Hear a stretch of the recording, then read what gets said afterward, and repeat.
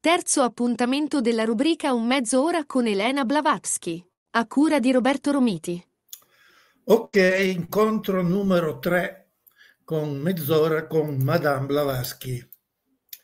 Elena Petrovna Blavatsky, 1831-1891, nata eh, in Russia, ma oggi sarebbe Ucraina, a 17 anni eh, scappa da casa. Aveva sposato poco prima un, uno molto più anziano di lei perché la sua governante le ripeteva sempre che col carattere pessimo che aveva non l'ha sposata nessuno. E lei per sfidarla sposa questo eh, nobile Blavatsky, facoltoso Blavatsky, infatti lei prende il nome del marito, che lascia dopo poco, sembra anche senza aver consumato il matrimonio, incomincia un giro eh, in tutto il mondo. A vent'anni circa, a Londra, assiste ad una sfilata dove eh, membri autorevoli indiani sfilano con i cavalli e, e tutto l'ambaradan eh, per essere omaggiati dal popolo inglese. Lei eh, fissa lo sguardo su un imponente personaggio, un Maharaja, che successivamente eh, lei nomina Moria, col nome di Moria, che la guarda. Successivamente Moria diventerà il suo maestro e assieme all'altro maestro che noi conosciamo come Kutumi istruiranno per qualche anno, ma aveva 17 anni, quindi per quanto possa essere stata istruita ed avere una mente molto particolare, non poteva certo scrivere, sapere le cose che ha poi scritto in Iside Svelata e nella Divina Segreta. Ora qualcosa di più su questi maestri Mori e Kutumi. Chi volesse gratuitamente sapere di più sui maestri, quelli veri, può andare nel già citato istituto cintamani.org, testi tradotti. Al numero uno c'è Vite, insegnamenti dei maestri di saggezza di Stefano Martorano, che ha ripercorso tutto il cammino in India, ha fatto ripercorrere tutto il cammino eh, i maestri di Madame Blavatsky. I nomi veri di memoria è stato Rambin, Rambir Singh ed è stato Maharaja del Kashmir. Il Kashmir è stata un'importante regione tra India e Pakistan. Il suo primo ministro è stato Kutumi, che aveva come nome Kir, Kirparam, Mm? Questi, oltre a occuparsi della vita quotidiana del Kashmir, che ora è diventato, grazie a Moria Kotumi, uno dei paesi indiani più all'avanguardia, aveva anche il tempo di istruire e trasmettere queste cose attraverso Madame Blavatsky e a un certo punto di cercare di cambiare le cose sapendo che sarebbero andate negli anni seguenti e chiedono al loro titolare, perché anche questi maestri c'è sempre un titolare, di poter tentare ancora una volta di migliorare la situazione dell'umanità attraverso una nuova società teosofica. Teosofia è un nome antichissimo, Qui, attraverso una società teosofica dove Madame Blavatsky sarebbe stata la mente e il braccio, la Blavatsky l'avrebbe trovato in America, il cosiddetto colonnello Henry Steele Olcott, che è il vero creatore della società, della struttura, delle varie sedi in tutto il mondo. Il titolare di Mori e Kutumi sembra non fossero molto d'accordo. Non fosse molto d'accordo perché conosce bene gli uomini, però gli ha detto, ha detto fra sé sé, sono ragazzi, facciamolo, facciamoli provare. E nel 1875 nasce a New York la Società Teosofica. Madame Blavatsky chiaramente è quello che porta avanti gli insegnamenti e io qui sto riproponendo alcune di queste cose che sono state dette e scritte agli inizi del movimento e Blavatsky stessa. Successivamente, nell'ambito della società teosofica, ci sono stati personaggi molto importanti che sono partiti magari anche di lì, cioè non solo Annie Besant, eh, non solo Krishnamurti, non solo Steiner eh, e altri personaggi importanti che hanno fatto un percorso all'interno della società teosofica che hanno poi proseguito eh, il, il, loro fine, in particolare più, i due più conosciuti probabilmente sono stati Steiner, Rudolf Steiner e Krishnamurti. Andiamo avanti su quello che è l'insegnamento blavaschiano del secondo incontro. Eh, il gioco prevede che io faccio le domande e le risposte sono di Madame Blavatsky. Domanda, curiosità. Vorrei dei chiarimenti sulla cellula umana. Risposta di Madame Blavatsky. Ogni organo umano ed ogni cellula di questi possiedono una loro tastiera, simile a quella di un pianoforte, con la differenza registra ed emette delle sensazioni invece che dei suoni. Ricordo che Madame Blavatsky era anche un'ottima pianista, si è guadagnata da mangiare anche suonando, tenendo concerti. Ogni tasto, dice, possiede una potenzialità di bene o di male, un potere creatore di armonia o di disarmonia. Il risultato dipende dall'impulso dato e dalle combinazioni prodotte, dalla forza del tocco dell'artista. L'occultismo insegna che le cellule del fegato e della milza sono le più sottoposte all'azione della nostra mente personale, essendo il cuore l'organo per eccellenza grazie al quale l'ego superiore agisce per tramite del sé inferiore. Domanda. Secondo te, che te ne intendi? Che cos'è un medium? Blavatsky.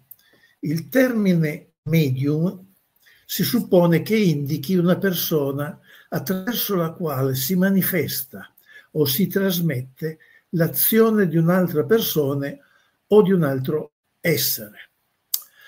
Qui eh, introduco il secondo me, eh, non primo me, ma secondo me.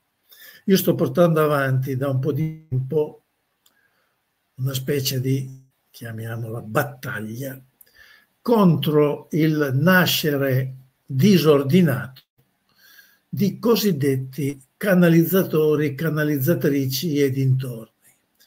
Persone che a un certo punto, di solito in seguito a dei drammi personali, entrano in contatto con delle entità e poi cominciano anche loro a trasmettere sempre più con una sicurezza come se fossero loro gli artefici. O, avendo avuto io amici seri studiosi finiti male in ospedale psichiatrico, perché la stessa Blavatsky ci dice o ci dirà che nel momento in cui si va a toccare quelle correnti, quando si ritorna di qua ci rimane qualcosa. E probabilmente alcuni degli ascoltatori conosceranno anche medium molto noti che hanno avuto o hanno tuttora grossissimi problemi, ma questo proliferare di medium, canalizzatori, canalizzatrici sta un po' sostituendo quello che una volta era la religione o i partiti politici. Quindi il giocatore, eh, il primo giocatore, vedendo perdere terreno a questi giochi oramai superati, io penso che stia dando valore ad un altro tipo di gioco molto pericoloso, perché ognuno di questi canalizzatori e canalizzatrici diventa Dio per quelli che li ascoltano anche non a pagamento, più spesso a pagamento. E questo è pericolo. Ne parlerà poi Madame Blavatsky, ma volevo chiarire per Carlo, e parlerò spesso di queste cose con la voce di Madame Blavatsky, che è stata una delle medium più potenti in assoluto a livello mondiale, e poi lei ha già detto che come si è separata e come non rischia più di essere posseduta da queste forze. Madame Blavatsky è stata uno dei nemici, numero uno degli spiritisti dell'epoca, sapendo bene lei di cosa parlava e quali erano i rischi. Bene. Gli spiritisti che credono alla possibilità di comunicazione con degli spiriti disincarnati che possono così manifestarsi attraverso dei sensitivi o impressionare per far trasmettere loro dei messaggi, considerano la medianità come una benedizione ed un grande privilegio. Noi teosofi, invece, che non crediamo come gli spiritisti alla comunicazione degli spiriti, consideriamo la medianità come uno dei più pericolosi disturbi nervosi anormali. Un medium, oggi direi canalizzatore, spesso sono canalizzatrici, spesso sono persone, donne molto evolute, laureate con un livello di studio molto alto, molto informate, non come i tempi di Eusapio Paladino, altre medium che parlavano appena l'italiano, se non solo il dialetto. Un medium è semplicemente un soggetto, uh, naturalmente nel mio piccolo ho sperimentato alcune cosine non solo nella di qua ma anche nella non parlo di cose che non conosco. Un medium è semplicemente un soggetto nel cui ego personale o mente terrestre, quella che definiremo come psiche, la percentuale di luce astrale è così preponderante da impregnare tutta la sua costituzione fisica. Ricordo, anche se chi resiste a queste mie chiacchierate sa che cos'è il piano astrale, sa che abbiamo diversi livelli di frequenze, un corpo fisico, un corpo eterico, un corpo eh, mentale, un corpo astrale, Adi, Buddhi, Manas, eccetera, eccetera. Bene. Ogni organo e ogni cellula sono di conseguenza, per così dire, accordati con essa e soggetti a un'enorme tensione anormale. La sua mente del medium è sempre sul piano di questa luce ingannevole e vi resta immersa. L'anima è divina, ma il suo corpo, cioè le onde luminose sui piani inferiori di questa luce, il suo corpo infernale, perché non sono che riflessi oscuri e deformati delle passate impressioni della Terra. Oh, attenzione, qua Blavatsky dice il suo corpo e specifica le onde luminose sui piani inferiori di questa luce. Fisica quantistica. La visione del me è sfocata. I suoi sensi, abituati fin dalla nascita alle distorsioni innaturali di immagini sfigurate, che vagano sulle onde caleidoscopiche del piano astrale, come lo sono, abituati ai cattivi odori e alla sporcizia di chienate dei bassifondi londinesi, sono incapaci di riconoscere il vero dal falso. Così i pallidi cadaveri senza anima che si muovono sui campi sperduti del Kamaloka, un certo livello, gli appaiono come le immagini viventi dei suoi cari scomparsi. Anche il piano astrale ha diversi livelli.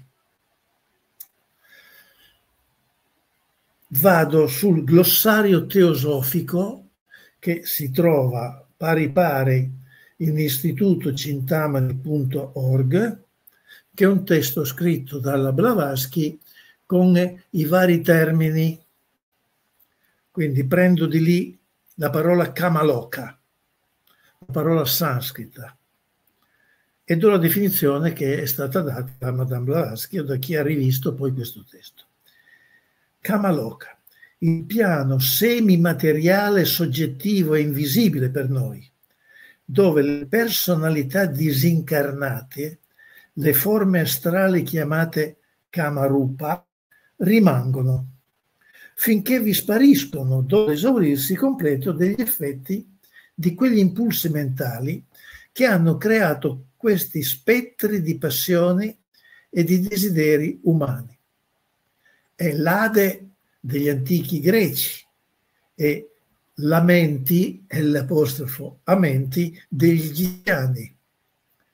È la terra delle ombre silenziose, dice Blavatsky.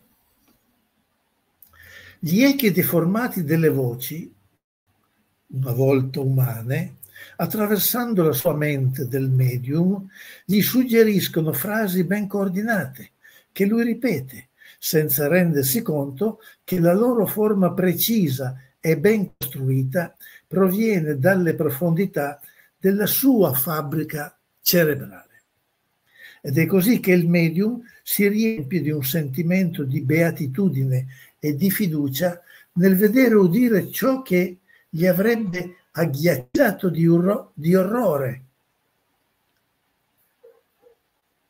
Il cuore, se soltanto lo avesse percepito sotto la sua forma reale.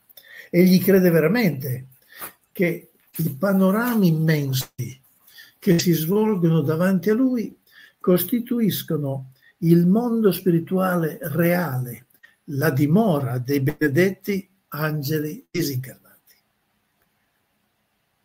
Quindi affermiamo, essendo purtroppo passati personalmente in un momento della nostra vita per tale esperienze, che in generale la medianità è pericolosissima e che le esperienze psichiche, quando sono accettate indiscriminatamente, portano il medium ad ingannare gli altri in tutta onestà, perché lui stesso è la prima vittima di questo auto-inganno. Inoltre, un'associazione troppo stretta con l'antico serpente terrestre costituisce un pericolo di infezione morale. Le correnti magnetiche della luce astrale incitano spesso all'assassinio, all'ubriachezza, all'immoralità.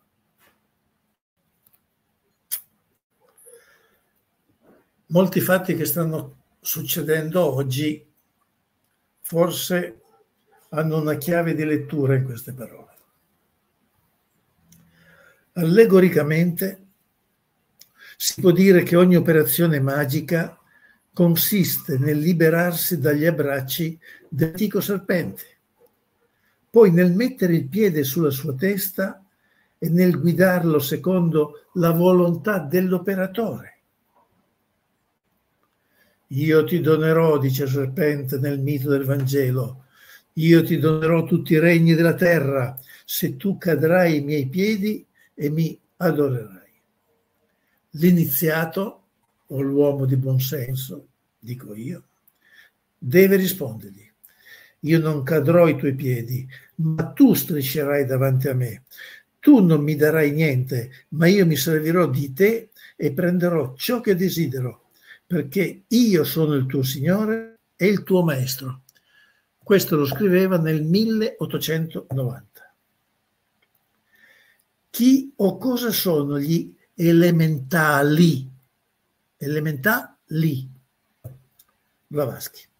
Ho dedicato anni allo studio di questi esseri invisibili, coscienti, semicoscienti e interamente provvisti di sensi, chiamati con nomi differenti in ogni paese e conosciuti con l'appellativo generico di spiriti.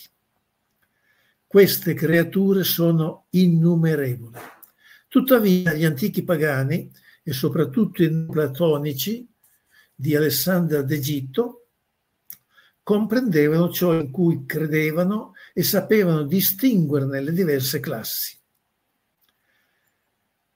Nessuno li considerava da un punto di vista tanto settario come le chiese cristiane. Al contrario, gli antichi comprendevano la natura di tali esseri molto meglio dei padri della Chiesa.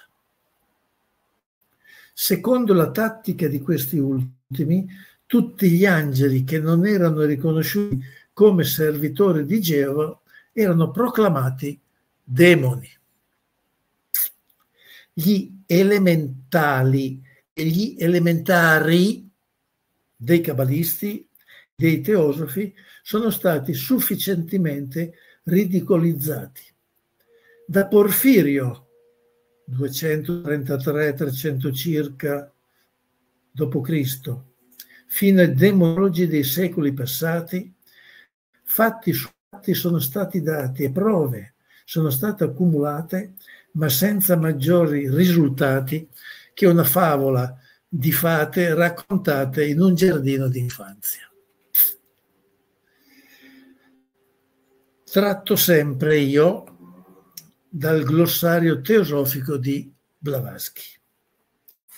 Istituto cintamani.org, testi tradotti. Elementali, spiriti degli elementi. Le creature evolute nei quattro regni o elementi, terra, aria, fuoco e acqua. I cabalisti sono chiamati gnomi della terra, silfidi dell'aria, salamandre del fuoco, ondine dell'acqua. Eccetto alcune delle specie superiori e i loro governatori, sono piuttosto forze di natura che uomini e donne del piano eterico.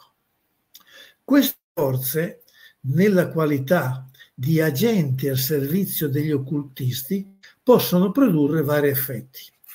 Ma se sono adoperate da elementari, ne parlerò dopo, nel caso rendono schiavi i medium e ingannano i creduloni.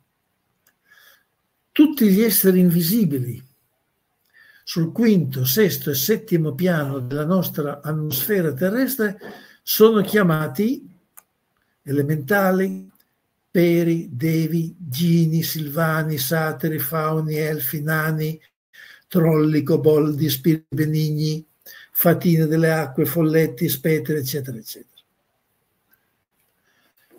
Vengo alla definizione di elementari. Propriamente parlando, sono le anime di depravati disincarnati, quindi elementali, fate, ondine, gnomi, eccetera. Elementari, cosa nostra, depravati disincarnati che qualche tempo prima della morte si sono separati dal loro spirito divino e hanno perso così l'opportunità di conquistare l'immortalità. Ma all'attuale stadio del sapere si considera più giusto applicare tale termine in generale agli spettri o fantasmi di persone morte, a coloro la cui dimora temporanea viene chiamata Kamaloka. Elifas Levi e altri cabalisti fanno poca distinzione fra gli spiriti elementari che sono stati uomini e quegli essi coprono gli elementi e che sono forze cieche di natura. Una volta separate dalla loro triade superiore dai loro corpi, queste anime rimangono nei loro involucri e sono irresistibilmente attratte verso terra, tra elementi congeniali alle loro nature grossolane. La durata del loro permanere nel Kamaloka varia, ma finiscono invariabilmente col disintegrarsi, dissolvendosi come nebbia, atomo per atomo, negli elementi circostanti. Torno a Madame Blavatsky. Abbiamo già detto, e insistiamo su questo fatto, che la magia bianca differisce pochissimo dalle pratiche di straneria, eccetto che negli effetti e nei risultati, poiché il movente, buono o cattivo, è essenziale. La maggior parte delle regole e delle condizioni preliminari richieste per far parte delle società degli adepti, sia che si tratti del sentiero di destra o di quello di sinistra, sono identiche in molti punti. Io ho dato una strana cosa che tra di loro si chiamano fratelli della mano sinistra e fratelli della mano destra ho il dubbio che giochino tutti una durissima partita in un campo di rugby, ma che finita la partita finisca a birre e panini eh, nel bar celeste. Secondo me. Parole maschi.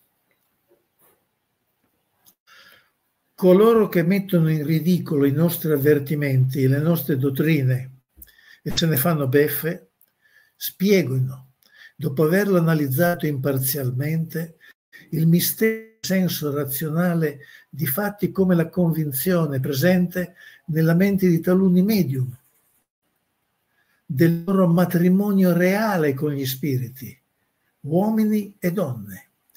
L'argomento della follia e dell'allucinazione non peggere quando lo si confronta con i fatti incontestabili delle materializzazioni spiritiche.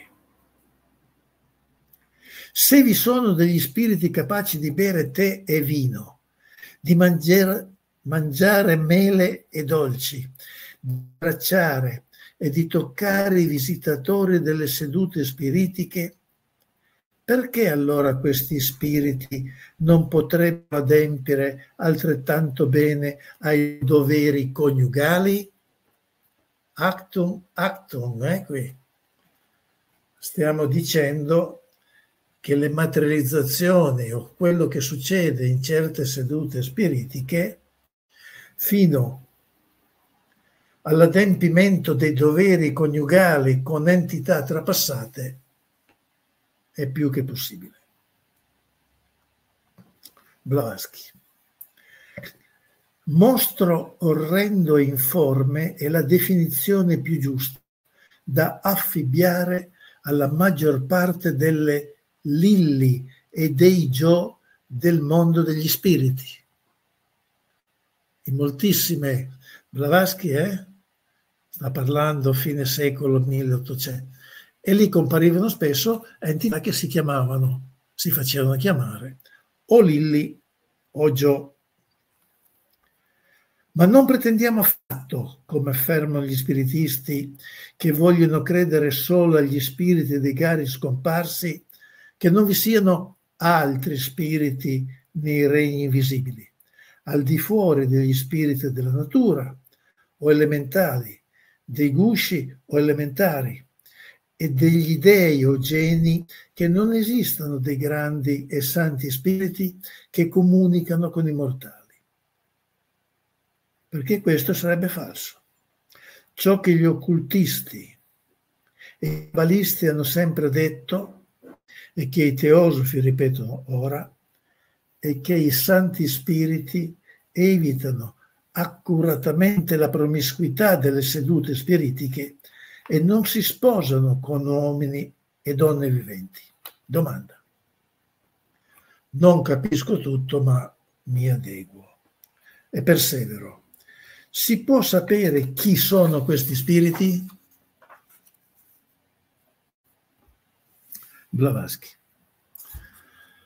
Credere negli spiriti è legittimo perché si basa sull'autorità dell'esperienza e dell'osservazione. Così come non è una superstizione il politeismo, ossia una forma di religione basata su più divinità. Il politeismo è fondato su di un fatto della natura.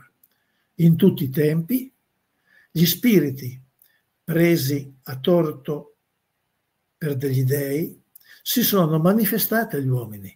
Da qui la loro credenza in molteplici dei difetti. Il monoteismo, d'altra parte, riposa su di una pura astrazione. Chi ha visto Dio, questo Dio di cui vogliamo parlare, l'infinito, l'onnipotenti, colui del quale discutono tanto monoteisti? Il politeismo, una volta che l'uomo pretende di possedere il diritto di intervento divino in suo nome, è logico ed è d'accordo con le filosofie dell'Oriente che tutte panteiste o deiste proclamano l'uno come un'astrazione infinita, un qualcosa di assoluto.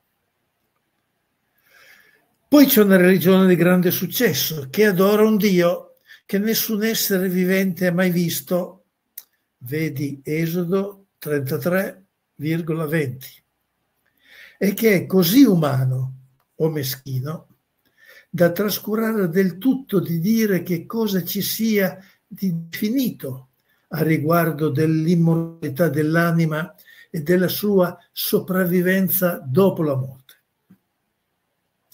Si occupa invece dei calzoni del suo popolo eletto, come leggiamo in Esodo 28,42 seguenti. E tu farai, e calzone di tela per coprire le loro nudità del reni, dalle reni fino alla coscia. Domanda.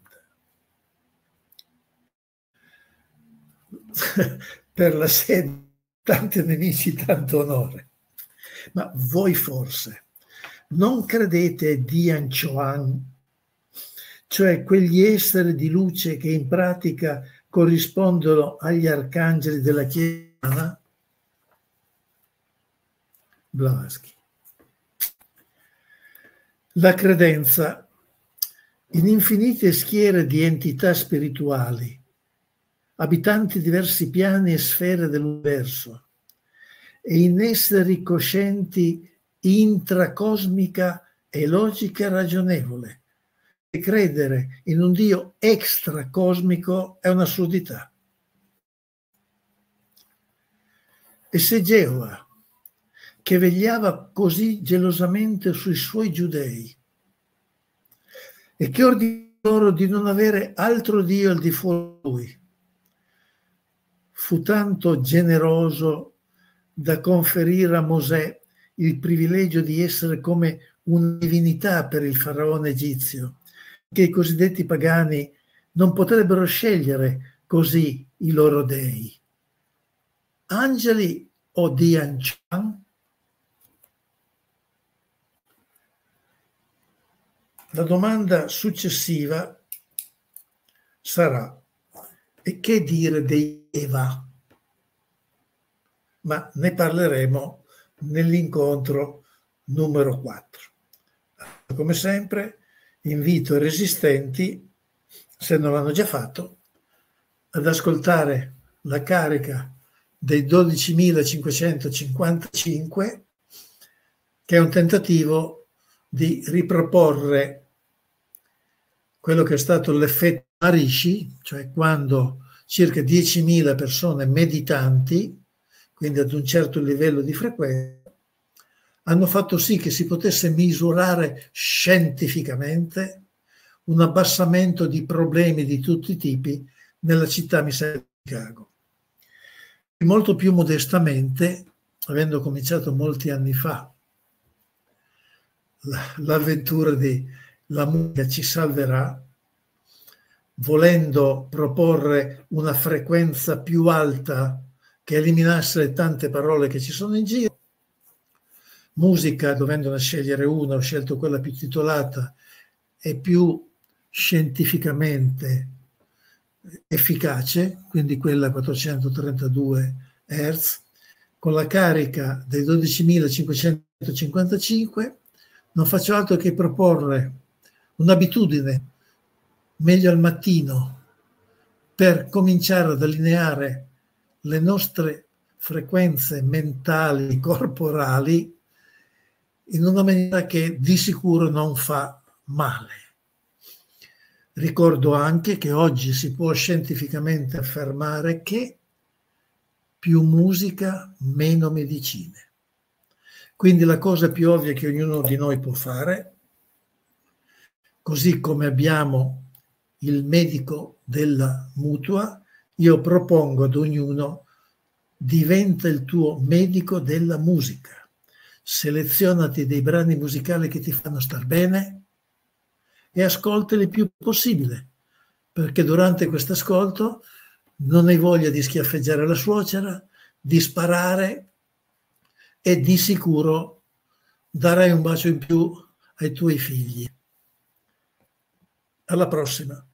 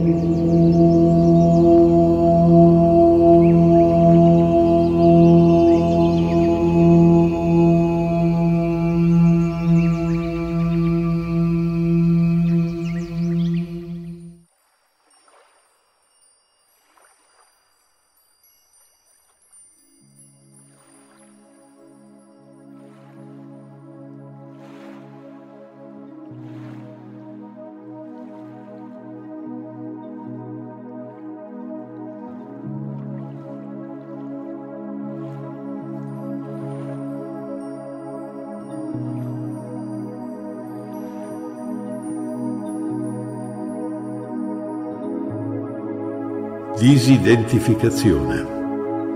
Io ho un corpo, ma non sono il mio corpo.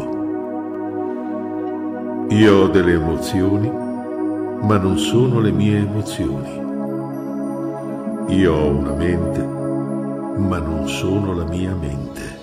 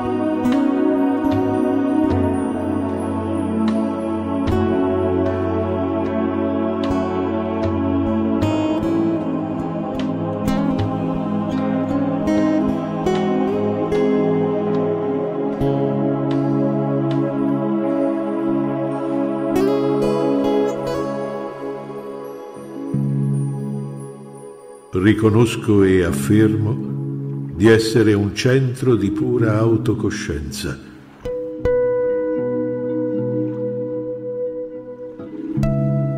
Io sono un centro di volontà, capace di osservare, dirigere e usare tutti i miei processi psicologici e il mio corpo fisico. Più radioso del sole, più puro della neve, più sottile dell'etere è il sé, lo spirito entro di me. Io sono quel sé, quel sé sono io.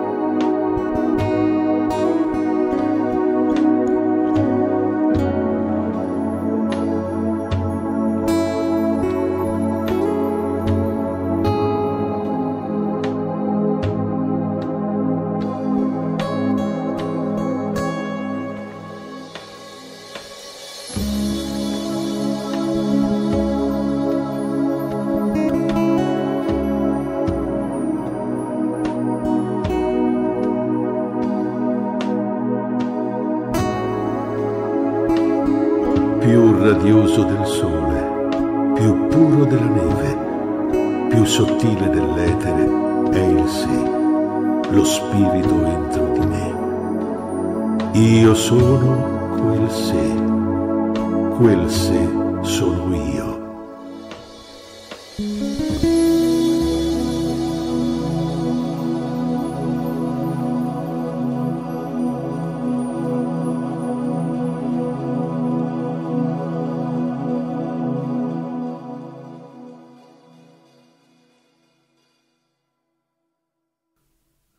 Respirate profondamente e date questo ordine al vostro subconscio.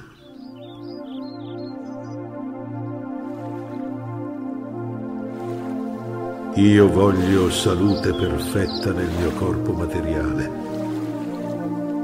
Io voglio ordine e pace.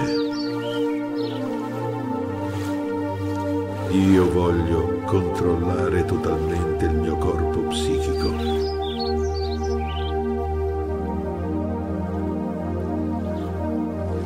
Io voglio dominare le mie emozioni e i miei desideri.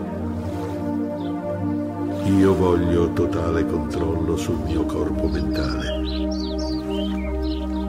Io voglio che pensieri saggi e costruttivi governino la mia vita.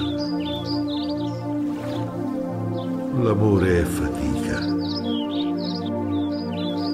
Ma ogni giorno, da tutti i punti di vista, io vado di bene in meglio a quelli che bussano. Dall'irreale conducimi al reale. Dal non essere fammi andare all'essere. Dalla tenebra conducimi alla luce. Dalla morte conducimi all'immortalità.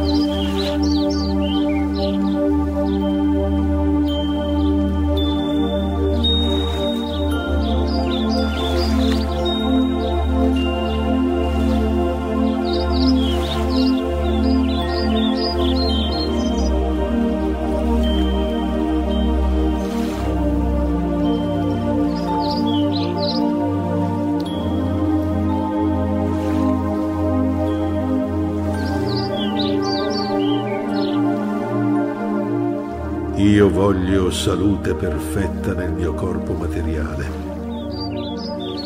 Io voglio ordine e pace. Io voglio controllare totalmente il mio corpo psichico.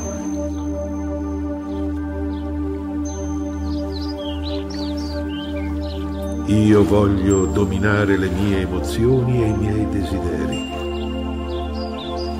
Io voglio totale controllo sul mio corpo mentale. Io voglio che pensieri saggi e costruttivi governino la mia vita. L'amore è fatica,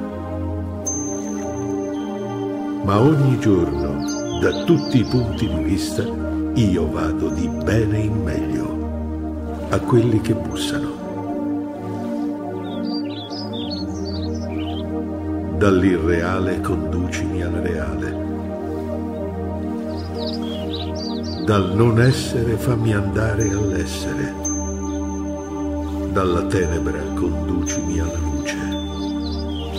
Dalla morte conducimi all'immortalità.